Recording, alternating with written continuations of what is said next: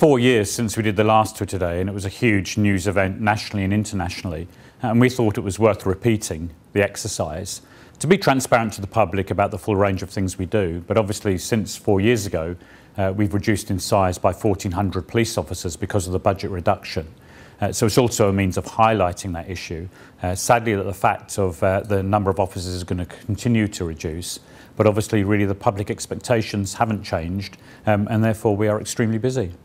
Well, it's been a fairly typical day, really, um, in terms of a whole range of calls, um, some pretty serious incidents, um, but quite a lot uh, about vulnerable people, elderly people, um, children refusing to go to school, uh, quite a number of aspects the public would be quite surprised that the police have been called about. But on the other hand, the police are there as the agency of last resort. People phone us when they can't think of anybody else to phone.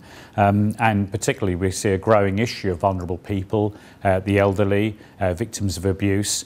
Um, and Twitter Day really emphasises the range of responsibilities the police have for caring for people. So often the debate is the police dealing with crime, but we deal with a lot more of crime. And as a proportion, uh, the amount of time we spend on vulnerable people is going up.